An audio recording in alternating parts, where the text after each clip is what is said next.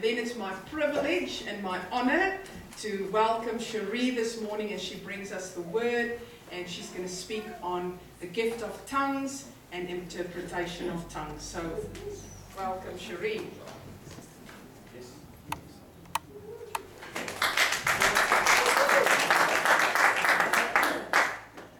Steve is still doing that at the end. Do all speak in tongues? Most of you will have read that question in 1 Corinthians. Do they all speak in tongues? No. The answer is no. Not all people speak in tongues. But to understand that verse, we need to look at tongues in context. That's right. The way to read this verse in context is to know that the New Testament actually talks about four different types of tongues. Two of those tongues are for public ministry, where you're ministering to one or a group of people, and two of those tongues are for personal or private use. So today we're going to look at those four different types of tongues. 1 Corinthians 14:22. Therefore, tongues are for a sign, not to those who believe, but to unbelievers. So the first one we're going to look at is tongues as a sign. So what does it mean that tongues are a sign? John Bevere tells of an evening where he was speaking in Colorado, and he had a member of his staff standing up the back. And during the time that he was speaking, she was down the back praying in tongues, or what she thought was tongues. And for the whole message, she just felt this urge to pray in tongues. And at the end of the message, a gentleman sitting two rows in front of her got up and said, Your French is perfect. Not only do you speak French perfectly, but with a perfect accent of the ancient dialect of French. I'm a French teacher and I've never heard someone speak French so well. She said to him, But I don't speak French. But you were speaking French. She was like, But I don't speak French. For him, it was a sign. He stood there and he looked at her and he said, Not only were you speaking French, but you were quoting scripture in French. And then John Bevere would say, Turn to that scripture. Amen. He stood there, oh yes. this is a time for a sign. It's the same kind of tongue that was manifest on the day of Pentecost. The disciples were untrained and unlearned, but they were speaking perfectly in the languages and dialects of all the Jews who gathered in the area. These uneducated men who had never learnt their languages were speaking their languages perfectly, the wonderful works of God. It was a sign to them and they were saved. So the next sign we'll look at is tongues given for interpretation. This is a public tongue as well. It's a tongue that is a heavenly language in which there is no dialect on earth. You say heavenly languages? Yes, there are languages of heaven. There is more than one language of heaven. Did you know that Jesus has a name that no one other than himself knows? Do you know that he's going to give you a stone and on that stone is going to be written something that only you and he knows? There are many languages of heaven. This tongue and the two following tongues are basically this. When a person begins to speak a language of heaven, it is not a language of earth that we don't know or haven't been trained in, that other people might know, but it's a completely different language not known on the face of the earth. It cannot be translated, but it can be interpreted because it is a heavenly language. This is one of the nine gifts of the Holy Spirit talked about in 1 Corinthians 12. This is the tongue that Paul was talking about when he asked the question, Do all speak in tongues? So let's read it in context. 1 Corinthians 12 28 to 30. And God has appointed these in the church first apostles, second prophets, third teachers, after that miracles, then gifts of healing, helps, administration, varieties of tongues. Are all apostles? Are all prophets? Are all teachers? Are all workers of miracles? Do all have the gifts of healing? Do all speak with tongues? Do all interpret? In this verse, Paul's talking about the ministry gifting of God that he has set in the church for public ministry. Certainly not all are apostles, or prophets, or teachers, or pastors, and not everyone has the gift of healing. And certainly not all have the ministry gift of speaking in tongues or interpretation of the heavenly languages. So why is that? The answer is found in the following verse. Paul writes in 1 Corinthians chapter 14, verse 22 and 23. Therefore, tongues, that's tongues for a sign, are for a sign, not to those who believe, but to unbelievers. But then he goes on later to say, if the whole church comes together in one place and all speak in tongues, that's tongues for interpretation, mm-hmm. and there comes in those who are uninformed or unbelievers, will they not say that they are all mad and out of their mind? So he says, on one hand, that tongues are for a sign. But then on the other hand, hand he says that if you will speak in tongues, then the unbelievers are going to say you're mad and out of your mind. Now, if we don't understand the four different tongues that are talked about in the Bible, we're going to read that and go, he's just contradicted himself. Tongues are for a sign for unbelievers, but then if unbelievers are going to say that we're mad and out of our mind, but he doesn't contradict himself. The first one he's talking about is a tongue for a sign. The second one he's talking about is tongue for interpretation. But if you, uh, go back to that. Yes, go back to the French teacher. For him, the tongue was a sign. But if everyone in that room had been speaking in tongues for interpretation, he would have walked in and would have thought that everyone was crazy and out of their mind. So those are the two public tongues. Now, along with this tongue, Paul writes about in the book of 1 Corinthians is the gift of interpreting tongues. This is a gift that very few, if any, of the people I have ever met have had. It's very rare. We read in 1 Corinthians 14 27, Paul writes that if people speak in tongues in public places, that there must also be an interpretation. A person with the gift of interpreting tongues is someone who can understand what a tongue speaker is saying, even though he does not know the language that is being spoken. This lack of prior knowledge of a language is what distinguishes the spiritual gift from the natural gift of being able to understand and speak varieties of languages. The tongues interpreter would hear the tongue speaker and then communicate the message to anyone present. One of the problems in the Church of Corinth was that the tongue speakers were speaking out in the service, exercising the gift of tongues with no interpreter and no one present who spoke the language. The result was that the tongue speaker was commanding attention, but his words were meaningless, since no one understood him.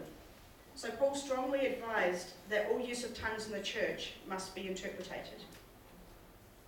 He says in 1 Corinthians 14:19, In the church I would rather speak five intelligible words of instruct rather- rather than 10,000 words in a tongue.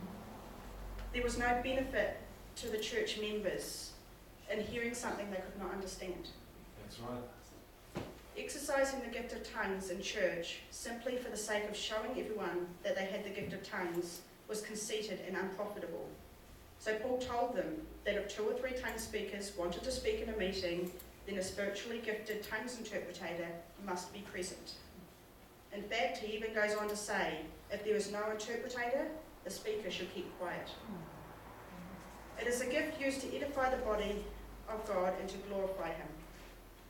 So some people ask the question, how can you know if someone is speaking in a public tongue for interpretation or just speaking publicly in tongues? This is the way that I look at it. Hi Gladys, how's it going? That's good. You having a good day? Yeah. I just spoke publicly to Gladys. Yeah. It was a one-on-one conversation, but yes, we're all around. But it wasn't a public conversation. I was speaking directly to her. But now, I'm speaking to all of you. That's right. That's the difference. I had a private conversation in public, and now I'm having a public conversation. So now we're going to go on to the third tongue tongues for personal prayer. Paul says in 1 Corinthians 14, verses 14 and 15 If I pray in a tongue, my spirit prays, but my understanding is unfruitful. What is the conclusion then? I will pray. Listen to the word pray there. Not speak out to a congregation, but pray. I will pray with the Spirit, and I will also pray with understanding. That's English for most of us. I will sing with the Spirit, but I will also sing with understanding. Mm-hmm. What Paul was doing in those verses is identifying tongues as a prayer language. He talks about it in 1 Corinthians 14, verse 2, where he says, who, He who speaks in a tongue does not speak to men, but to God. So the other, so the two public tongues we're talking to God. So in the two public tongues, we are not talking to God, we are talking to men. But when someone speaks out in tongues which is interpreted, they are speaking God's message to us. When the disciples on the day of Pentecost spoke in tongues for a sign, they were speaking to those people, the wonderful works of God. But Paul is now saying that when you speak in tongues or sing in tongues, you don't speak to men, you speak to God. There is tongues for a prayer language. And when we want to speak one of the two public tongues, we are speaking to unbelievers or to the church, but when we pray in tongues, we speak to God. Now listen to what Jude says. Jude 20. But you, beloved, building yourself up, your most holy faith, praying in the Spirit. That's why every believer, I reckon, should pray in tongues. It builds us up. But I'm going to make a statement there. People, including myself, have asked the question is the evidence that I've been filled with the Spirit that I can pray in tongues? Let me say this to you this morning. A person can be filled with the Spirit and not pray in tongues. That's right. Why? Because they're not yielded to it. I can walk into a river and stand against the flow because and, and not get swept away because I'm not yielded to that river. But when I let go and I follow that river, I'm yielded. I take I, I go wherever it leads. I will say this though. Every believer that has been filled with the Spirit has the ability to pray in tongues. Just maybe you haven't stepped out yet. Maybe you haven't yielded to that river. So to make this clear, you can be filled with the Spirit and not speak in tongues. My own personal experience was very much like that. I never doubted that I had received the Holy Spirit. He'd give me prophetic words for people. I'd laid hands on the sick and seen them recover. But up until a few months ago, I never spoke in tongues. It was like it was there, but I couldn't access it. Mm. I just hadn't turned that tap on yet. So now we're going to look at tongues for intercession. This is our fourth one. And it is also a private tongue. Romans 8 26 and 27 says, Likewise, the Spirit also helps in our weaknesses. For we do not know what we should pray for as we ought, but the Spirit Himself makes intercession for us with groanings which cannot be uttered. Now He who searches the hearts knows what the mind of the Spirit is, because He makes intercession for the saints in accordance with the will of God. Mm-hmm. So here Paul is talking about tongues for intercession. We might not know what's going on with our family down the road. We might not know what's going on with our neighbours or with our workmates or friends. But the Holy Spirit does. So we can make intercession by yielding ourselves to Him. We can pray for them, not knowing what their need is. I heard recently of a story of a lady who stayed, started praying in tongues. And she just got a feeling she was praying for an elderly gentleman. She didn't know what for, she just knew she was praying for an elderly gentleman. And the next day at work, found out that her workmate's father was, uh, grandfather, sorry, was in a car crash. She'd been praying for him, not knowing what was happening around that time. So many people believe that tongues have passed away or isn't for all believers. But in 1 Corinthians 14:5, hear the heart of God. He says, I wish you all spoke with tongues. Some say that's just Paul writing, but remember, all scripture is God breathed. That's right. That's the cry of God's heart, that all would speak in tongues. Paul makes a statement in 1 Corinthians 12, verse 1. Now, concerning spiritual gifts, I don't want you to be ignorant. So, I want to challenge you guys this week. If speaking in tongues is something that you've struggled with, if it's a question that, you are, that you've been asking, go to Him, ask Him, seek Him out on it. He says that if we desire the gifts, that He will give them to us. He will not withhold any good gift from us. Mm-hmm. There isn't a magical formula to be able to pray in tongues. I'm sure they would have sold it on the market if it had. You It's just, it's not there. Yeah. But go home and seek out those scriptures and just seek the Holy Spirit. It's a relationship with Him. It's not just